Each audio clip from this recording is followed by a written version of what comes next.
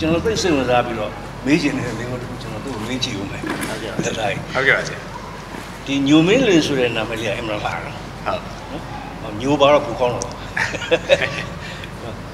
အဲ့ဒါဟာကိုဝင်းဦးရဲ့အရင်ကလောနာမည်ဆိုတာသိလားဟုတ်ဖေဖေပြောပြလို့သိပါတယ်ဆရာဟုတ်ဖေဖေကအဲ့လိုပါဆရာဖေဖေကဟိုကျွန်တော်ဖေဖေကဟိုပြောရရင်ဝင်းဦးရဲ့ fan တကယ် huge fan ပေါ့နော်အကြီးစားပေါ့ဖေဖေက ဝင်းဦးကိုတော်တော်လေးသဘောကျတယ်သဘောကျတော့ကျွန်တော်ဟိုဒါ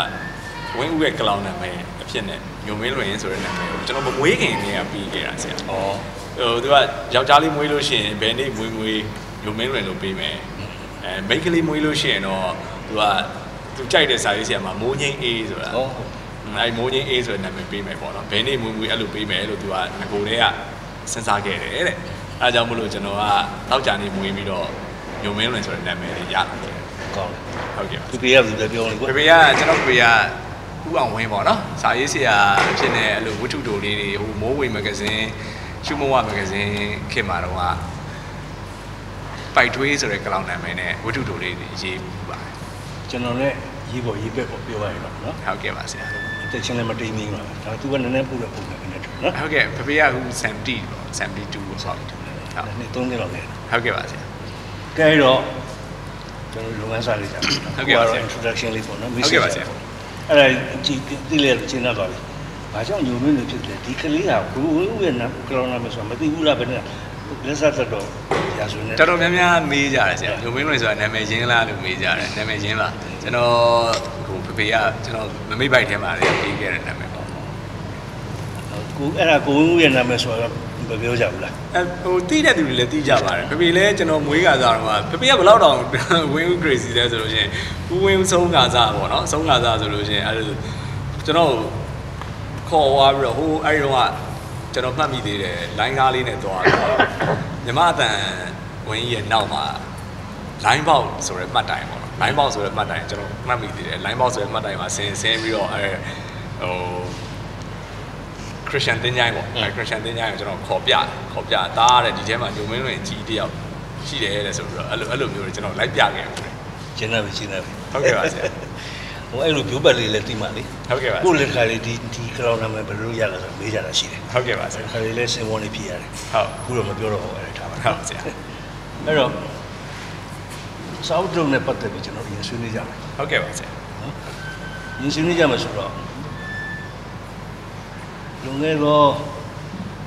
ဆယ်နှစ်ကျော်တော့ပြည့်နေတယ်ဟုတ်ကဲ့နော်ဟုတ်ပါတယ်ဟိုသူအိမ်ရောက်လာတယ်ကျွန်တော်ဘူဆောင်မြို့နယ်နေတော့ရောက်လာပြီးတော့စောက်တုတ်ကိုသူကမလားသဘောကျတဲ့အကြောင်းအဲ့ဒီစောက်လေးကိုဖတ်ရပြီးတော့ဘယ်နဲ့ကပါညာဆိုပြီးတော့ပြောပြပြီးတော့အခုဆွေးနွေးမယ်ဆိုရင်လည်းအဲ့ဒီစောက်အကြောင်းမှဆွေးနွေးမယ်ဆိုပြီးတော့ဟိုတောင်းဆိုလာတယ်ကဲဆွေးနွေးကြတာပုံကောင်းတယ်ကိုညိုချင်းရင်မေးနေတာပေါ့နော်အော်ဆရာချစ်တောင်းဆိုတာဆရာချစ်နဲ့ဒီလိုတွေ့ဆုံဘယ်လိုလက်ခံပြတာလဲ ဘယ်လိုအကြောင်းနေရှိလဲဒါကဟိုပြောရရင်ကျွန်တော်အတွက်ဟိုကြီးကြီးမားမားအခွင့်အရေးတစ်ခုလို့ပြောလို့ရပါတယ်ဟိုကျွန်တော်စာပေလောကမှာကျွန်တော်လေးစားရတဲ့စာရေးဆရာကြီးတွေအများကြီးရှိခဲ့ဘူးပါတယ်အဲ့ဒီနေရာမှာဒီလိုဆရာနဲ့တွေ့ခွင့်စကားပြောခွင့်အခုလိုမျိုးစကားဝိုင်းလေးတစ်ခုအတူတူရိုက်ခွင့်ရဖို့ဆိုတာကျွန်တော်တို့တကယ်အခွင့်အရေးကြီးတစ်ခုပါအဲ့ဒါကြောင့်မို့လို့ဒေတာကမ်းလန်းတဲ့အချိန်မှာဟာလုံးမှာပေါ့ဒေတာပြောမှာပေါ့ဆိုပြီးတော့ဝမ်းသာအားရပဲလက်ခံခဲ့တာပါဆရာချစ်တယ် ရောအော်ဆရာချစ်ပြောဟောမဲ့အစီအစဉ်မှာရှင်းမလိုက်လောက်တာရှိတယ်နောက်ထပ်လည်းပြောလို့ရှိပါကိုညိုမင်းလို့ဘာဖြစ်လို့လက်ခံကမ်းလှမ်းလဲအစအစီအစဉ်မရှိဘူးခင်ဗျာသားလည်းလုံးလုံးနဲ့ဆိုတော့သိတယ်လေဒါပေမဲ့ကောင်းတဲ့ပေါ်လာတာညုံမင်းနဲ့တခါအိမ်လာဘူးတယ်လို့အဲ့တော့သူနဲ့လဲစပ်ပြီးဝိုင်းလေးပေါ့သူပြောတော့စပ်ပြီးစကားပိုင်းတော့ပြောချင်ပါဘူးလို့ဆွေးနွေးလေးလုပ်မယ်ဆိုရင်သူအင်မတန်နှစ်ချက်တဲ့ဆောက်လေးတို့ရှိတယ်လို့ငါမှာငါကြီးအဲ့လောရနဲ့လမ်းလျှောက်တူထွက်ချင်း အဲ့ဒါလေးကြောင့်ပြောရရင်ကောင်းမှာပဲဆိုရက်ဟိုစိတ်ကူးလေးပေါ်လာတယ်အဲ့တော့လူငယ်လေးတယောက်နဲ့အတူဆွေးနွေးတယ်စာအုပ်လေးကပါပါလေးသေးသေးလေးဆွေးနွေးတယ်ဒါပေမဲ့ဆွေးနွေးတဲ့အကြောင်းအရေးအမှန်နဲ့ net တယ်တော့တော်တော်ပင်ပန်းမှဆွေးနွေးယူရတယ်အဲ့ဒီပုံမှာကျေနပ်မှုရှိတယ်အဲ့တော့ तू အဲ့လိုသားဆက်သွယ် तू ကလည်းဆက်သွယ်တယ်လီဖုန်းနဲ့အလုံးကြတော့ဘာဆရာကျွန်တော်အဲ့လိုလုပ်ရှင်လောက်ကွာကျေနပ်သွားတယ်ပြောရတာကျေနပ်သွားတယ်ဆွေးနွေးရတာလည်းကိုယ့်အတွက်လည်းအခွင့်အရေးတစ်ခုပါပဲကိုညိုဆရာချစ်အာ ဒါလည်းပထမဆုံးလည်းငါဒီပေါ့ကိုဆရာစပြီးတော့အောက်ပေါင်းများစွာရှိတယ်ဗျာဒီနေ့တအုပ်ကြီးတယ်ဟုတ်လားဟုတ်နောက်ကဟုတ်နင်းကေတရာချစ်တဲ့သူရဲကောင်းရင်အဲဒီလောကရာနဲ့လမ်းလျှောက်တူထွက်ခြင်းကျွန်တော်ကဟို emotion ပြောရရင် emotion တော်တော်နည်းပါတယ်ကျွန်တော် emotion နောက်ကိုလိုက်တတ်တဲ့သူမျိုးမဟုတ်ဘူးဆိုတော့အဲ့မှာဝတ္ထုဆိုလိုတာကလေဟိုဝတ္ထုဖတ်ပြီးတော့ဟိုမျက်ရည်ဝဲရတာတို့ခံစားရတာမျိုးလို့ဆိုတာကျွန်တော်မှတော်တော်ဟိုမရှိသလောက်ပါပဲ သူကသူစာအုပ်ထဲမှာဘာတွေပဲဖြစ်နေဖြစ်နေဒါငါဘာလို့ငိုရမှာလဲဆိုတော့စိတ်မျိုးပေါ့နော်အဲ့လိုစိတ်မျိုးနဲ့ဖတ်တဲ့သူမျိုးပေါ့အဲ့ဒီထဲမှာမှဆရာရဲ့ဒီနင်းကေသူရာချစ်တဲ့သူရဲကောင်းဆိုတဲ့ဝတ္ထုလေးကကျွန်တော်ဖတ်တဲ့အချိန်မှာမျက်ရည်ဝဲမိတဲ့စာအုပ်ပေါ့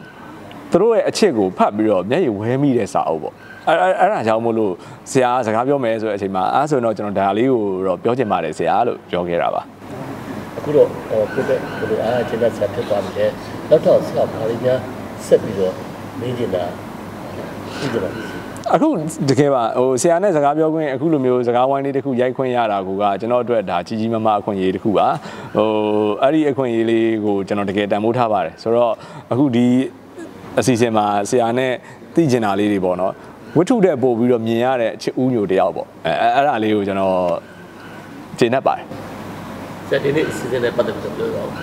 အဲဒီနေ့ခုနကလောကဓာတ်အကြောင်းတော့ပြောပြီးပြီလေသူကဆက်မေးမှာကနှိကိတရာချစ်တဲ့တွေ့ကောင်နဲ့ပတ်သက်ပြီးတော့သူက emotional မှမဟုတ်ဘူးတဲ့နော်ဒါကတော့သူက rational မှပေါ့နော်ခံစားမှုသိတာမပေးဘူး